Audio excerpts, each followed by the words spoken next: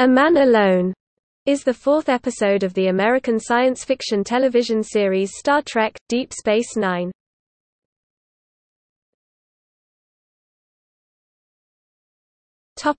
Plot Odo has become worried at the number of new people arriving at the station due to the newly discovered Bajoran wormhole.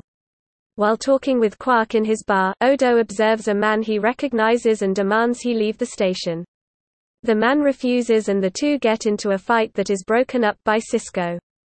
Odo explains to Sisko that the man is a Ibudan, a smuggler of goods to Bajorans during the Cardassian occupation.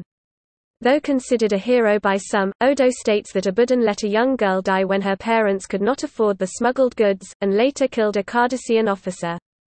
He has since gone free after the end of the occupation. Sisko warns Odo that he cannot take action against Ibudan without any evidence of a crime being committed.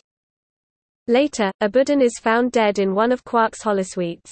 One of Ibudan's friends reports to Sisko and Kira that Ibudan was afraid Odo would kill him.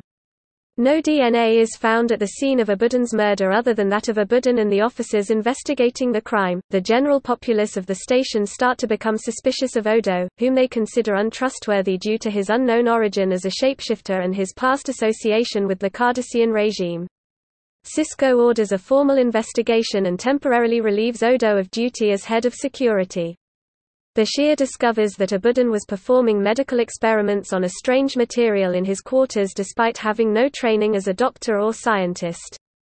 Bashir continues to observe the samples in sick bay. The crowds on the station become more hostile believing Odo is the murderer, and Odo is forced to hide in his office to avoid a mob forming outside despite Sisko's attempts to calm him down. Bashir suddenly arrives with new evidence, the sample from Ibudan has started growing into a clone of Ibudan. Sisko, Bashir and Odo determine that the murdered Ibudan was also another clone, set up to incriminate Odo. They discover the real Ibudan hiding on the station, and now with evidence, Odo is able to arrest him for the murder of his clone.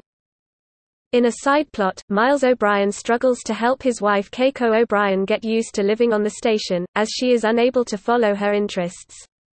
She offers to start a school to teach the children residing on the station, and persuades Sisko and Rom to enroll their children respectively, Jake and Nog.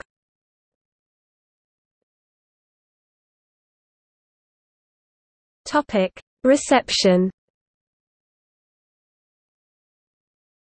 A Man Alone first aired on January 18, 1993.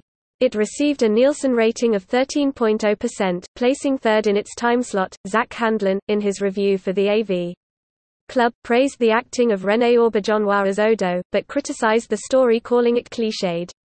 He concluded by saying that the episode was not awful, but it's not good, either. Notes